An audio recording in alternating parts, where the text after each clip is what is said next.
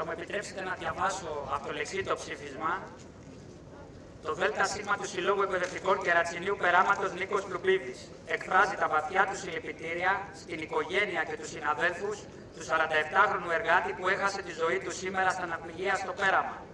Ακόμα δύο εργάτες τραυματίστηκαν σοβαρά και νοσηλεύονται. Κανένα μέτρο ασφαλείας, ούτε τεχνικός ασφαλείας δεν υπήρχαν, όπως αναφέρει το Συνδικάτο Μετάλλου Αττικής και Ναυπηγική Βιομηχανίας Ελλάδας, που βρίσκεται στο σημείο από την πρώτη στιγμή. Μόνο τον τελευταίο μήνα μετράμε νεκρούς και τραυματίες στα ναυπηγεία Ελευσίνας, στα ναυπηγεία της Γύρου, στα ναυπηγεία Σπανόπουλου.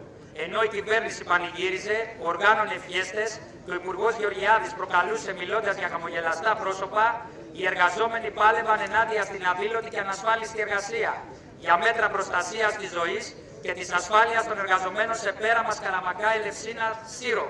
Από την αρχή του 2023 το Συνδικάτο έχει πραγματοποιήσει τέσσερις απεργίες με την κυβέρνηση, τη μεγαλουργοδοσία, τους ανθρώπους της, καθώς και ορισμένα μέσα μαζικής ενημέρωσης. Να τρομοκρατούν, να συκοφαντούν. Τέτοια ανάπτυξη θέλουν με την εκμετάλλευση να απογειώνεται. Με αποτέλεσμα εργαζόμενοι να μην γυρνάνε ζωντανοί στο σπίτι τους, στις οικογένειές τους.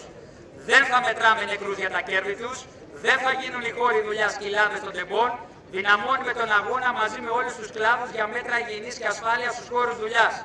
Να πληρώνουν υπεύθυνοι. Εμείς συμπαραστεκόμαστε, θα ακολουθήσουμε όλες τις κινητοποιήσεις που εξαγγέλει το Σωματείο και ως γονείς, ως εκπαιδευτικοί των μαθητών, ως εκπαιδευτικοί των παιδιών σας θα είμαστε δίπλα σας.